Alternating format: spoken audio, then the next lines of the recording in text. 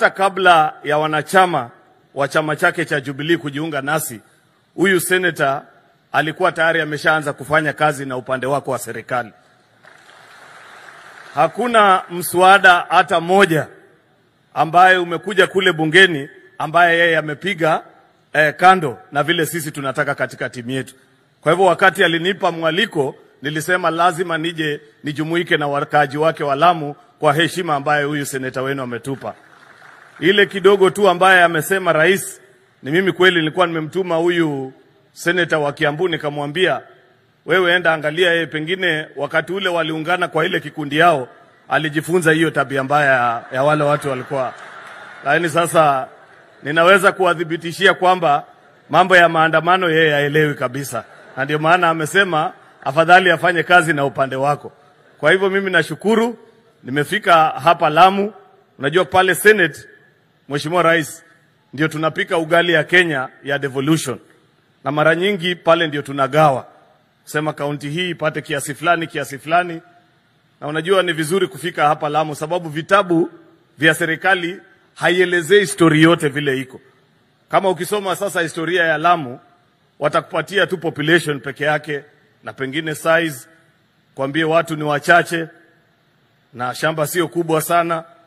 Hawasemi kwamba kuna tabu nyingi sana hapa, sababu nimewasikia viongozi wakizungumza, wanaweza andika ile kitabu katika Biblia inaitwa Lamentation, sijui kwa Kiswahili inaitwa nini, maombolezi, kuanzia mama county, mjumbe, gavana, kila mtu ako na shida saa hizi.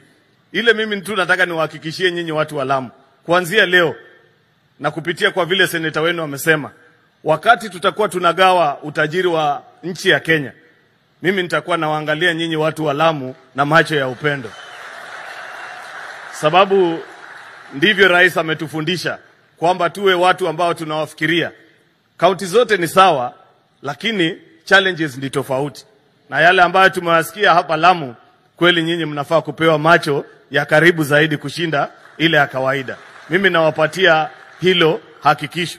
Ya mwisho tu, rais, ni kukubaliana na mchungaji ambaye wakati alizungumza, karibu mimi nisimame na kiti kwa kumshangilia sababu yeye alisema jambo ambalo mi naona ni kama Wakenya wamesahau. Wakenya wamesahau kwamba mimi mara mingi husema hii Kenya ni kama basi ambayo wakati wewe ulipewa ilikuwa kwa mtaro, dirisha imevunjika, breki imekatika, hakuna handbrake na miguu imeangalia juu, na ukaambiwa tafadhali ng'ang'ana naye mpaka irudi kwa barabara.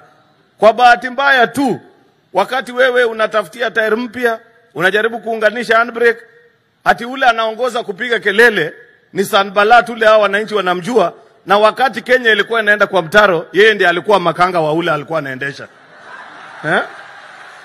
Yeye ndiye alikuwa anamwambia kanyagilia mafuta kabisa, na saa hiyo basi iko kwa mteremko na haina break. Mwisho tulijipata kwa mtaro. Mimi ningependa tu kuambie wewe, kaa kama Nehemia vile mchungaji amekuambia, ziba masikio na uz, utengeneze Kenya mpaka iwe nchi ambaye watu wengi wakiangalia wanaitizama. Hii makelele ambayo unasikia, tafadhali wewe ziba masikio, ng'ang'ana na nchi ya Kenya. Tabu ni nyingi. Yule ambaye anapiga kelele, sisi tumemzoea, tunajua wakati yeye amewekwa kando kwa baridi asikie njaa, ndiye anakumbuka bei ya unga.